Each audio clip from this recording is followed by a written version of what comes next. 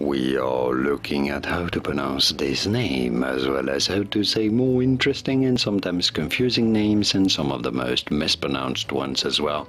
So make sure to stay tuned and consider subscribing for more learning how do you say it. This is a German name said in German as Jörg.